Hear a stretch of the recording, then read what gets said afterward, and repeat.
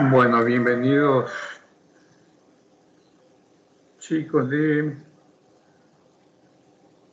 En un momentito que se abra la página donde les ah, este, el tema. Bueno. Bienvenidos chicos de... Primera evolución B. Este, a la semana número 5 del proyecto 6, estamos en la materia de biología. Les saluda a su profesor, el ingeniero Jorge Muruzumbay. Este, bueno, hice todo el proceso, aunque un poquito tarde porque tuvimos una reunión. Este, pero sin embargo, y a pesar de aquello, eh, al momento no hay ni, ni un chico conectado, ni siquiera lee los mensajes, pero bueno y por tal razón que le voy a dejar grabado esta clase para que otro día o más tarde o más luego este, puedan observar, analizar y enviarme las tareas. Empezamos chicos. El tema de hoy es sobre la biodiversidad, el tema general. La biodiversidad o diversidad biológica es la variedad de la vida. Este reciente concepto incluye varios niveles de la organización biológica que viven en un espacio determinado a su variabilidad genética, a los ecosistemas de los cuales forman parte de estas especies y a los paisajes o regiones en donde se ubican los ecosistemas. También incluyen los procesos ecológicos y evolutivos que se dan a nivel de genes, especies, ecosistemas y paisaje. Ya este, hay que recalcar aquí, ¿no es cierto?, que incluye la, la variedad de vida, pero este, que viven en un espacio determinado de acuerdo a la variabilidad genética Sí, y también este, eh, a los ecosistemas que forman parte de las especies.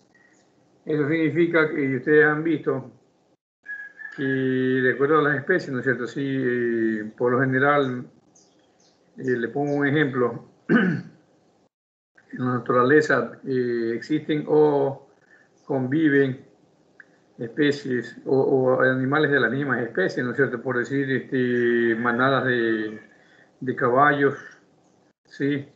Tenemos manada de búfalos al norte de en Norteamérica, ya eh, manada de leones en África,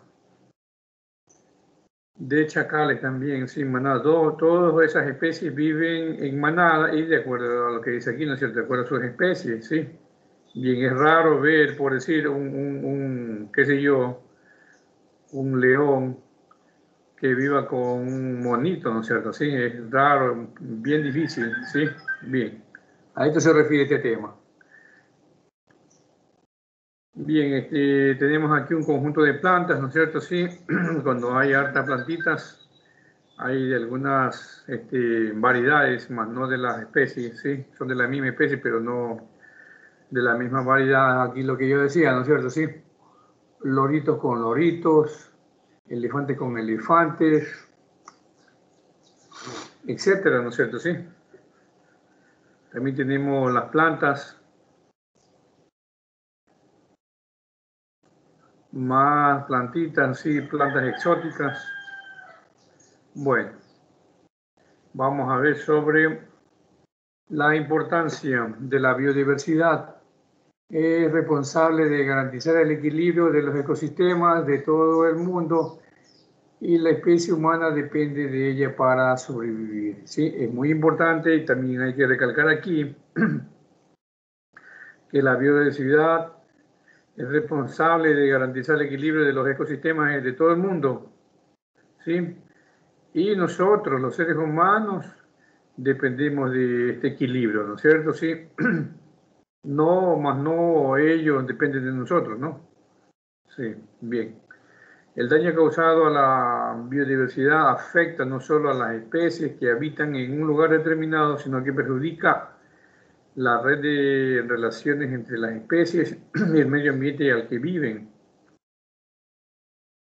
Por decir, una especie de, pescados, Sí, han desaparecido mucho eh, de los ríos, ya no hay mucho pescado en los ríos y, y, si hay, los hábitos de ellos ya han cambiado.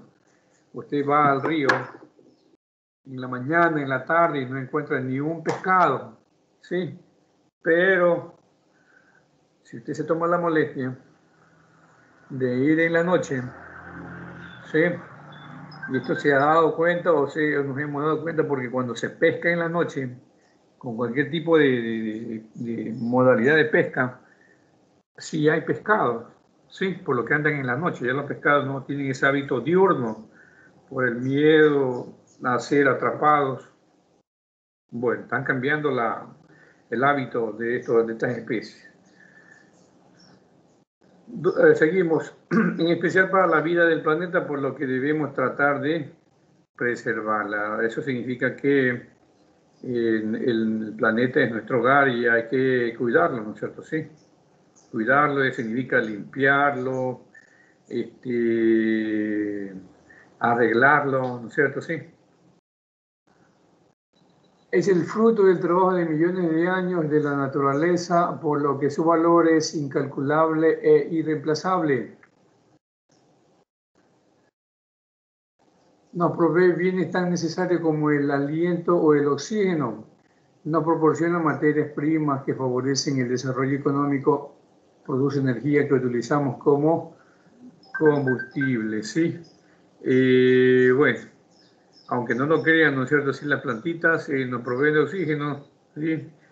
Y también los animales nos proveen de materia prima o también las mismas plantas, ¿no es cierto? Sí, materias primas. Anteriormente, eh, bueno, ahora también este, los animalitos exóticos también proveen, pero ya no como antes. Hace muchos años atrás proveían de qué? De, de vestido contra el clima, ¿no es cierto? Sí, pero bueno, eso fue un tiempo atrás. Ahora hay, pero muy poco. Es el origen de algunos medicamentos y finalmente, eh, pero no por ello menos importante, nos calma la retina de los hermosos paisajes que podemos disfrutar. Eh, bueno, de, los medicamentos, es verdad, este, la mayor parte de, los medicamentos que eh, nos recomiendan los doctores para mm, varias enfermedades provienen de aquí de la naturaleza, ¿no es cierto? Sí, solo que acá ya están este, industrializados, sí, transformados. Pero si usted analiza bien, el ingrediente activo de la mayoría de medicamentos es de origen vegetal, ¿sí? Vamos con las ventajas y desventajas. Es la garantía de bienestar y equilibrio en la biosfera. Los elementos diversos que componen la biodiversidad conforman las verdaderas unidades funcionales que aportan y aseguran mucho de los servicios básicos para nuestra supervivencia. El uso y beneficio de la biodiversidad ha contribuido de muchas maneras al desarrollo de la cultura humana y representa una fuente potencial para subvenir las necesidades futuras. La biodiversidad aporta alimentos, agua dulce y suelos fértiles para sobrevivir, medicina, fibras, textiles para cuidarnos y arroparnos y otras materias primas. Lo que yo le decía, ¿no es cierto? Sí, este, en la biodiversidad hay o nos proviene que de medicinas, incluso también textiles como cuál el algodón, ¿sí? Bien, eh, también alimentos, sí, porque los animales ya, como ya no se los cazan, igual el hombre ha, aprendido a criarlos. Igual son parte de la biodiversidad, ¿no es cierto? Los animalitos que se los cría de forma intensiva o extensiva, ¿sí?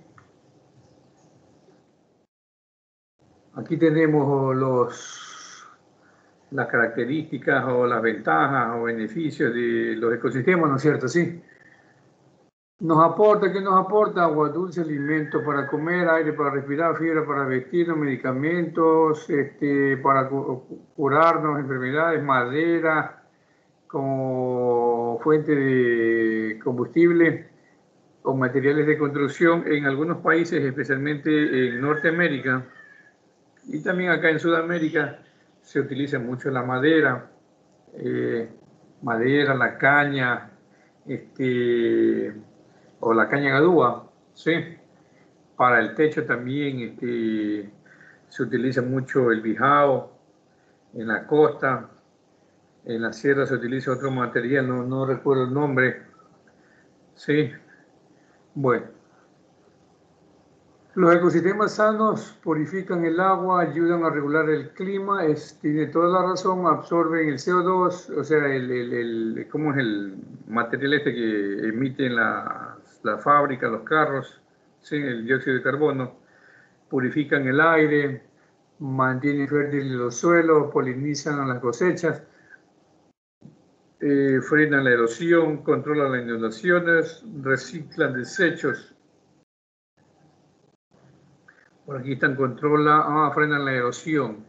una, una, tierra o un terreno que esté pelado, sin plantitas, es un terreno infértil, se seca inmediatamente. ¿sí?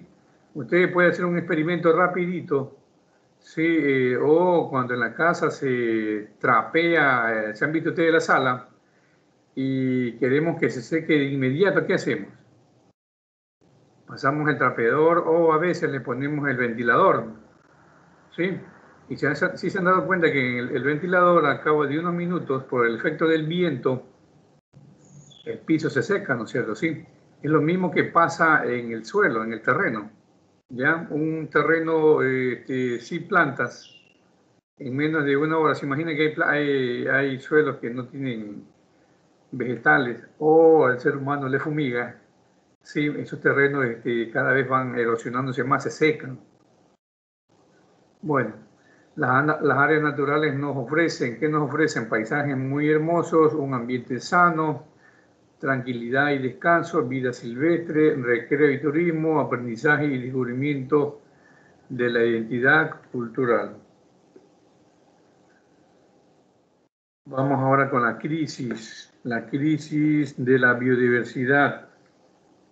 ¿A qué se refiere esta crisis? Se, considera que desde el siglo XV, XVII se han registrado por lo menos 717 especies de animales y 87 especies de vegetales como extintas, un total de 209 especies. La flora de la flora y 43 especies de vertebrados se encuentran en peligro de extinción. ¿Cuál es la causa de que se hayan extinguido? Extinguido o extinta es sinónimo de desaparecido, ya no hay. La pérdida de, y deterioro de los hábitats es la principal causa de pérdida de biodiversidad. Al transformar selvas, bosques, matorrales, pastizales, manglares, lagunas y arrecifes en campos agrícolas, ganaderos, granjas, camarones, esas carreteras y zonas urbanas, eh, destruimos el hábitat de miles de especies. Muchas veces la transformación no es completa, pero existe deterioro de la composición, estructura y función de los ecosistemas que impacta a las especies y a los hábitos y servicios que obtenemos de la naturaleza. Entonces, el ser humano con, cuando es, es irresponsable, Sí, eh, queremos sembrar banano, caña, eh, meter ahí en los manglares, este, quería camarón, sí, eh, botamos todos los árboles, todos los árboles que hay por ahí, ¿no es cierto? Y le, y le sembramos bananos por cientos de hectáreas, caña por miles de hectáreas, pero no son capaces de regular o que si, si hay regulaciones no las hacen este, no las hacen respetar sí porque si hay regulaciones ya bueno esto es una de las causas por las cuales este, aquí está eh, la biodiversidad está en crisis no es cierto sí bien ya vamos a ver cuáles son una de esas causas. Son dos, tres, cinco causas que le consideramos. Sí, bien. Vamos con la una. La pérdida del hábitat eh, sucede por el cambio de suelo o del uso del suelo de ecosistemas naturales. Tenemos bosques, selvas, pastizales, actividades agrícolas, ganaderas, industriales, turísticas, petroleras y minerales. Como ustedes podrán apreciar acá, ¿sí? Eh, un pueblo donde hay mucho terreno que está baldío, está apto para la erosión. ¿sí? Acá también tenemos este, ganadería. Esto se da más en la sierra y en el oriente. ¿sí? Bueno, botamos miles de árboles y metemos ganado. Y acá también en los controles de inundaciones, ¿no es cierto? Sí, a veces este, cuando no se hace un estudio técnico del impacto ambiental que va a tener, ¿sí? perjudicamos la zona. ¿sí? Bien. La introducción de especies no nativas, o sea, exóticas, que se convierten en invasoras o plagas es una causa muy importante de la pérdida de biodiversidad. Uno de esos ejemplos tenemos cuál. Cuando se arroja o se siembra estas famosas tilapias o hay otras este, especies de pescados más agresivos, ¿sí? Tenemos ahí también la, la cachama, ya botamos a los ríos y claro que ellas crecen, pero como son agresivas, este, las especies nativas desaparecen o simplemente se emigran hacia otro lugar. ¿sí? Esa es una de las causas también tenemos estas plantitas, ¿no es cierto?, que vemos alrededor del mundo. ya son plantas acuáticas, pero este, ya por experiencia y por información se obtiene que una de las causas por las cuales este, hay muchas de estas plantas es por la, el abundante mineral del potasio ¿sí? en, en las aguas. Ya, y, esto, y esta plantita este, consume mucho de ese mineral. ¿sí? Y acá tenemos otros insectos que a veces migran, ¿sí? Y se convierten en verdaderas plagas. La, la segunda, la sobreexplotación, eh, la sobreexplotación en la extracción de individuos de una población a una tasa mayor a la de su reproducción cuando esto sucede, la población disminuye. Eh, esta ha sido la historia de muchas de las especies que se han explotado por distintas razones, por decir las ballenas, los peces, venados, los cactus, orquídeas, las actividades de cacería, tala, pesca, comercio ilegal de especies con distintos fines, afectan a las especies al sobreexplotar sus poblaciones. ¿sí? Bien, aquí tenemos lo que yo decía, este, árboles tirados al suelo y gente o personas que a veces por cuestiones de comodidad eh, no remedian esta situación porque hay una ley en la que si tú botas un árbol, cortas un árbol, debes sembrar dos arbolitos, ¿sí? Pero eso nadie no hace respetar. Tenemos otra de las causas, el aumento en la presencia de sustancias químicas en el ambiente como resultado de las actividades humanas tiene graves consecuencias para muchas especies. Las actividades industriales, agrícolas, ganaderas y urbanas contribuyen sustancialmente a la contaminación del aire, agua y suelo. Es otra, es otro, otra causa también, ¿no es cierto? Sí, el incontrolable incremento o progreso de, la ciudad, de las zonas este, urbanas. Y también tenemos que durante los pasados 100 años se ha documentado el aumento de la temperatura promedio de la atmósfera y de los océanos del planeta debido al incremento en la concentración de gases de efecto invernadero. ¿sí? Este efecto invernadero es consecuencia de las anteriores, ¿no es cierto? Sí.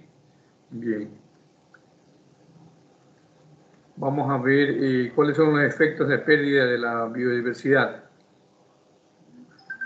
Los efectos de la pérdida de la biodiversidad. Un ecosistema necesita factores abióticos, como cuáles, la energía, el suelo, agua, y bióticos como plantas y animales para subsistir. Si por cuestiones migratorias o climatológicas ciertas especies deben moverse y abandonar un ecosistema, siempre debe haber otra que cumpla la función de esta.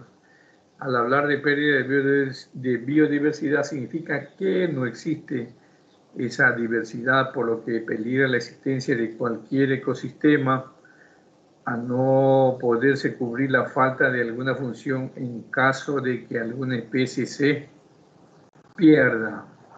¿Sí?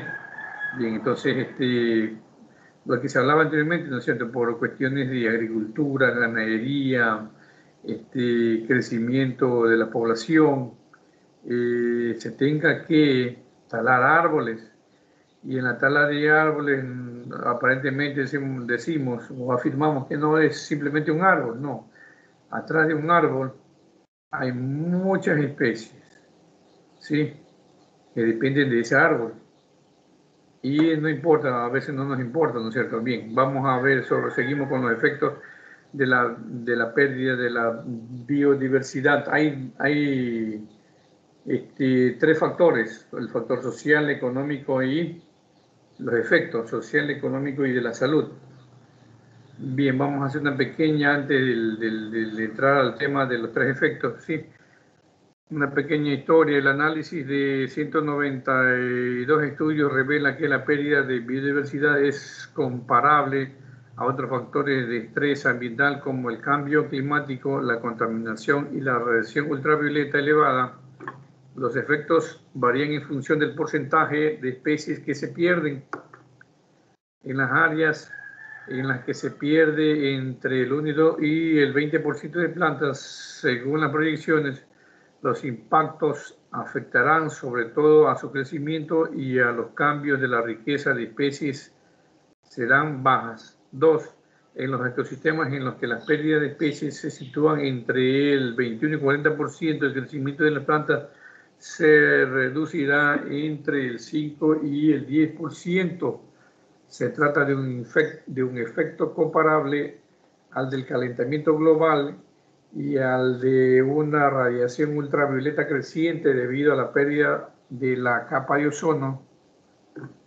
¿Qué significa esto? Por decir, este, como acá, miren, para sembrar maíz, este, a veces la gente no entiende de que ese maíz este, para florecer ya, este, o cualquier otro tipo de planta para florecer necesita de las abejitas y alrededor del cultivo este, no hay árboles.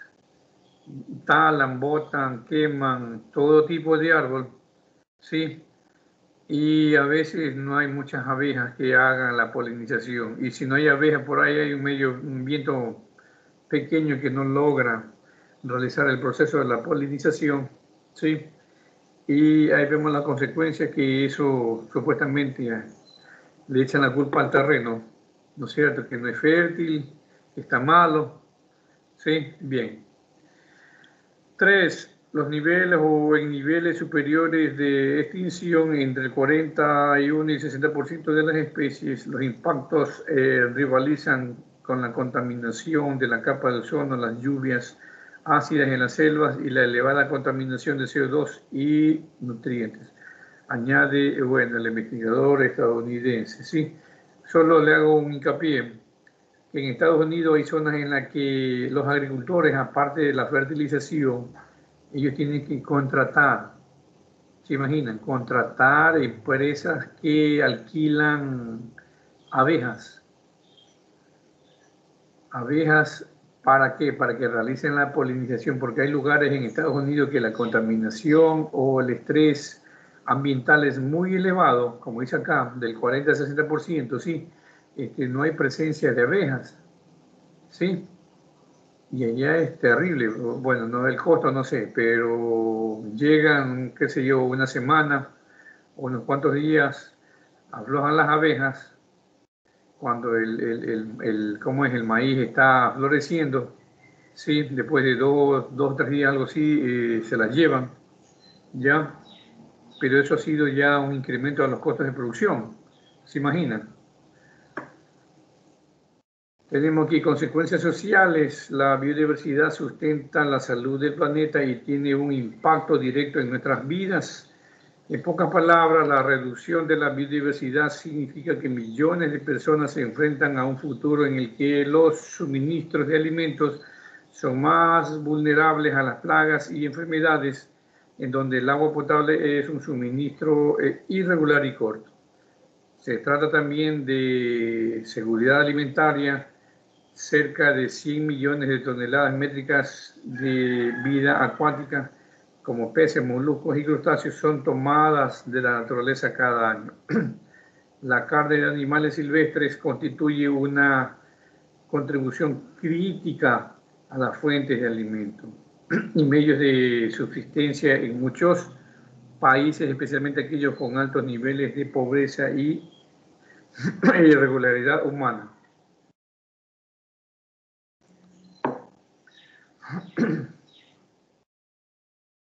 Vamos a las consecuencias económicas. La pérdida de los ecosistemas y la biodiversidad está estrechamente interrelacionada con la pobreza.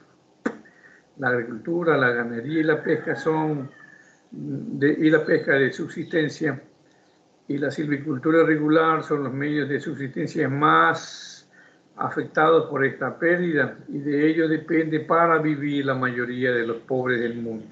Un ejemplo es Haití, donde la deforestación mermó la disponibilidad de agua y la productividad agrícola.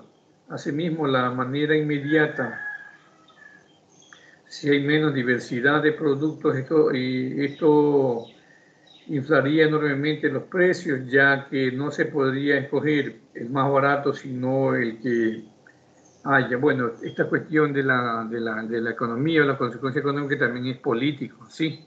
No nos vamos a meter por ahora en esta cuestión política, pero este, para evitar esta situación también hay ministerios.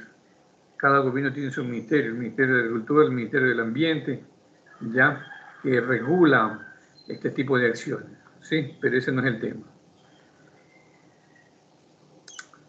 Los efectos relacionados con la salud. Los seres humanos dependen de la biodiversidad ya que dependemos de bienes y servicios de los ecosistemas como el agua dulce, alimentos, fuentes de combustible y materia prima.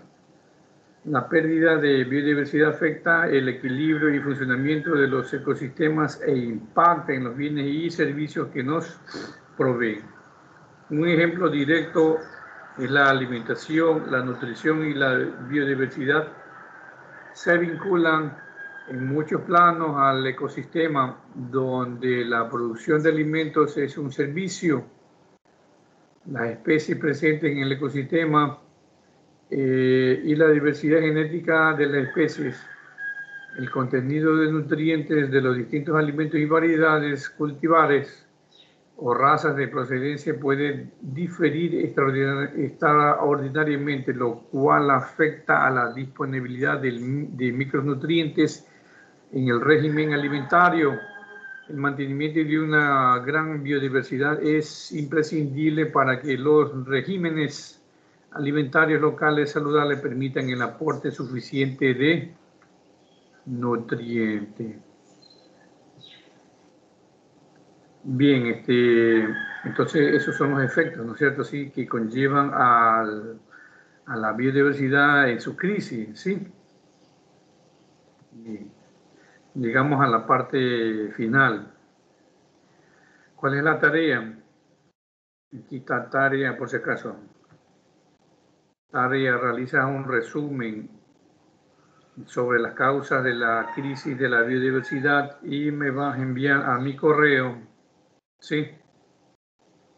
Puede utilizar este, fotos o puede dibujar este, bien, bien pintadito. Sí. Enviármela a mi correo. ¿Ya? Bueno, este, alguna pregunta, alguna duda, este, por favor no, no lo dude. Sí. Eh, mensajerme a mi WhatsApp o también lo puede preguntar en mi correo, sí.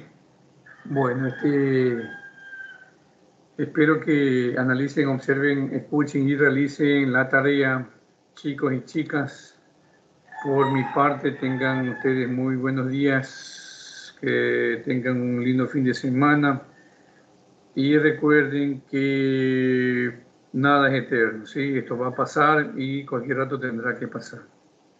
Nos estamos viendo, cuídense niños y niñas.